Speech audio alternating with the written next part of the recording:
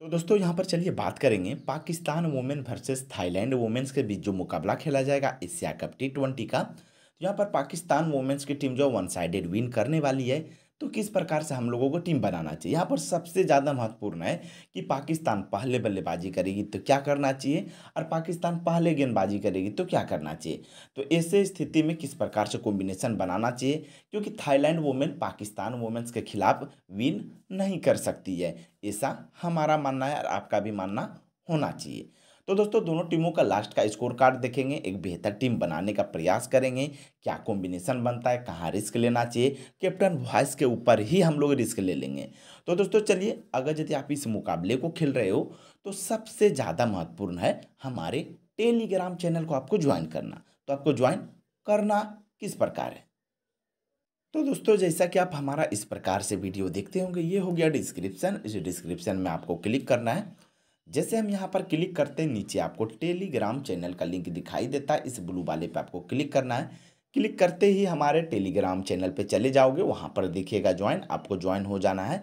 वहीं पर मिलेगी फाइनल टीम, जिस टीम से मैं खुद खेलता हूँ। इनके अलावा जीएल से रिलेटेड बहुत सारे अपडेट जो जीएल विन करने के लिए काफ़ी होता है। और मैंने कई बार आप लोग फ्री में जीएल विन करवाया है। तो इस वजह से हमारे टेलीग्राम चैनल को आपको ज्वाइन कर लेना चाहिए।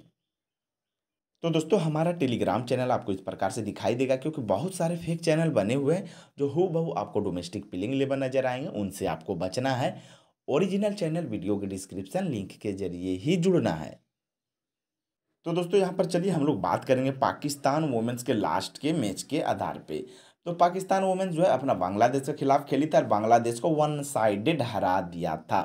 बांग्लादेश पहले बल्लेबाजी करते हुए यहाँ पर गेंदबाजी पाकिस्तान की टीम ने की। डेनियल बेग, जो कि फास्ट गेंदबाजी, गजब की गेंदबाजी करती है डेथ ओवर में गेंदबाजी करती है। एक मेडन के साथ दो विकटें लेके एस इकबाल, ये भी पावर प्ले में गेंदबाजी करती है और डेथ में गेंदबाजी करती है। हालाँकि ये है एक स्पिनर। इन्होंने भी एक मेडन के साथ एक विकटें लेके एन संधु गजब की गेंदबाजी कर रही है। हालाँकि विकटें नहीं मिल रहा है, लेकिन गेंदबाज काफ़ी अनुभवी और काफ़ी बड़ा है। टी हसन की बात किया, इनकी गेंदबाजी में देखा जाए, सबसे कमज़ोर कड़ी ये है लेकिन सामने की जितनी भी टीम है, इनसे कमज़ोर है तो ये और भी बेहतर कर रही है। तो तुबा हसन की बात के काफ़ी बढ़िया ये भी है तो इनको भी ट्राई करना चाहिए चार के चार ओवर ये करती है। इनसे पहले वाले मैच में इन्होंने दो विकटें भी लिया था। निदा डर निदा डर की बात के एक बेहतरीन ऑलराउंडर है, लेकिन ऑलराउंडर नहीं कह सकते क्योंकि अगर यदि पाकिस्तान पहले बल्लेबाजी करेगा, तब हम बेहतरीन ऑलराउंडर कह सकते हैं, क्योंकि इनकी बल्लेबाजी आने के चांस काफ़ी कम रहेंगे, चार नंबर पे बल्लेबाजी आती है, लेकिन गेंदबाजी तो भैया अच्छा खासा करके देता है, यहाँ पर दो विकटें ले गए। ओमीमा सोली की बात की जाए तो देखो उमिमा सोलिया जो है, ये गजब की गेंदबाज तो नहीं है, लेकिन पार्ट टाइम गेंदबाजी करते हैं, लेकिन गजब के हर बार ये विकटें ले जाती है। यहाँ पर देख सकते हो, एक ही ओवर किया, एक विकटें ले गए, इनसे पहले वाले मैच में दो तीन ओवर किया तीन विकटें ले गए। तो पार्ट टाइम गेंदबाजी करते विकटे ले जाते, साथ में चार से पाँच नंबर पर ये भी बल्लेबाजी करते। हो सकता है निदा डर से ऊपर आ जाए या नहीं तो निदार डर के बाद तो इनका आना ही है। तो पाकिस्तान वुमेन्स पहले बल्लेबाजी करेगा तो ये और भी कैप्टन वाज के लिए महत्वपूर्ण ऑप्शन हो जाएँगे। इनके अलावा दोस्तों, पाकिस्तान वुमेंस जो मलेशिया वुमेंस के खिलाफ खेली थी, यहाँ पर वन साइडेड विन इन्होंने यहाँ पर भी किया था, एक विकटें यहाँ पर भी गवाई थी। मलेशिया वुमेंस के नौ विकटें यहाँ पर गवा दिए, तीन विकटें सोलिन ने यहाँ पर ले गए थे और यहाँ पर तूबा हसन ने यहाँ पर दो विकटें, एस इकबाल डी बाई को एक एक विकटें मिला था। निडर दो ही ओवर की क्योंकि सामने की टीम कमज़ोर थी तो सोचा ज़्यादा ओवर करके फ़ायदा नहीं, ये तो वैसे ही लॉस कर जाएगी। एम अली इक्कीस एमीन की बात करें, इनका सिलेक्शन फ़र्स्ट मैच में बहुत कम था और हम लोगों ने पिक किया था वन साइडेड विन करवाया था। लेकिन अब तो लोगों को पता चल चुका है कि ये किस प्रकार से आक्रामक पारी खेलती है तो लोग तो पिक कर रहे हैं और करना भी चाहिए। मारूफ की बात की जाए, ये जीएल में देखो ज़्यादा बेहतर होगा, लेकिन पाकिस्तान वुमेंस पहले बल्लेबाजी करेगा तो भैया जीएल भी नहीं एस सारे लीग में आपको पिक करना ही होगा। इनके अलावा दोस्तों, थाईलैंड वुमेंस के खिलाफ जो यहाँ पर खेलेगी, यहाँ पर देख सकते हैं थाईलैंड मूवमेंट की बात करें ननटोप जो उनके विकेट कीपर है, पच्चीस रन की पारी खेली। अच्छी लय में और काफ़ी बढ़िया बल्लेबाजी करती है। लेकिन क्या पाकिस्तान के खिलाफ भी बेहतर कर पाएगी, एक बड़ा सवाल है। इन चंतम का देखोगे, करियर रिकॉर्ड ज़बरदस्त है। एक बल्लेबाज के तौर पे इन चंतम, इन चाई वाई दोनों काफ़ी अनुभवी और हर टीम के खिलाफ बेहतर खेलने का क्षमता रखते हैं। अपने लेवल टीम के खिलाफ ये अड़सठक पे अड़सठक जड़ती है। इन चंतम इन चाईवाई की थोड़ी सी फॉर्म खराब है। लेकिन यहाँ पर उन्नीस रन की पारी खेल के थोड़ी सी फॉर्म अच्छी आने की परिचय दिया। लेकिन सामने की टीम पाकिस्तान है तो मुश्किलें आएगी।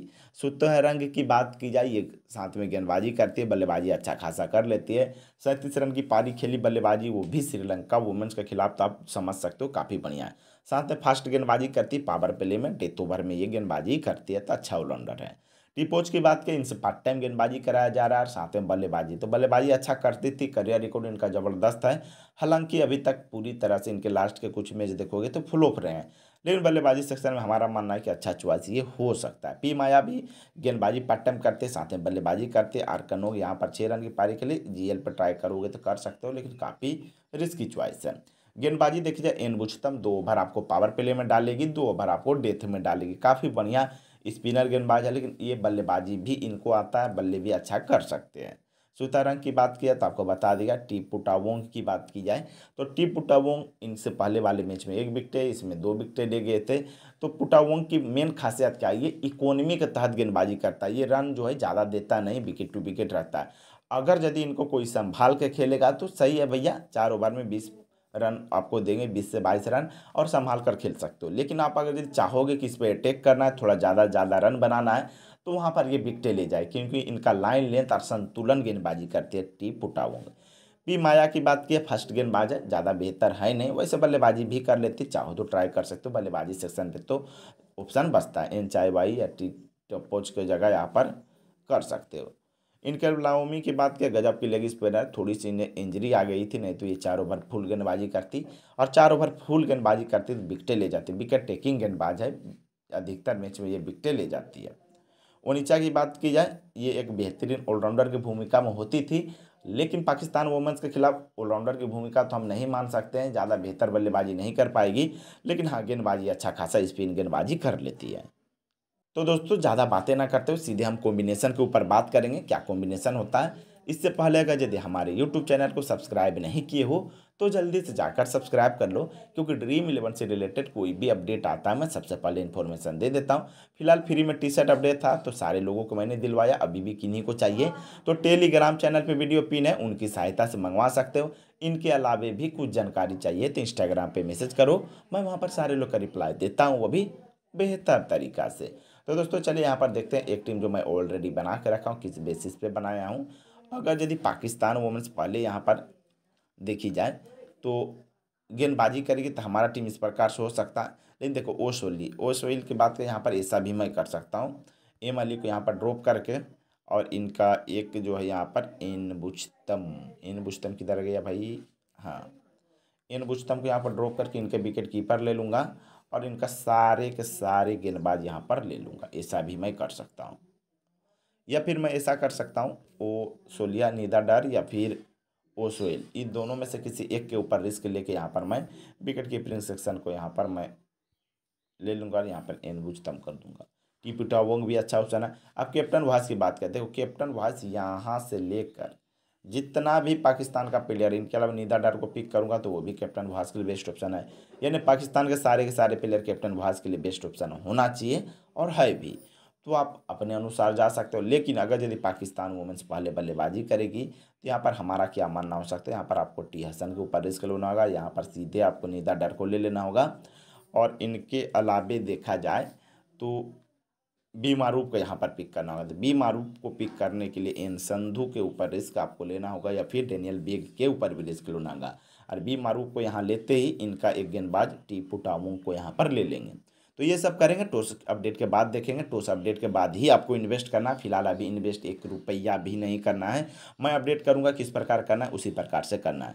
तो दोस्तों, फ़िलहाल के लिए मैं अपनी वीडियो को यहीं समाप्त करता हूँ। सीधा मिलता हूँ इस मैच के अपडेट के साथ। अपने Telegram channel domestic playing eleven पे।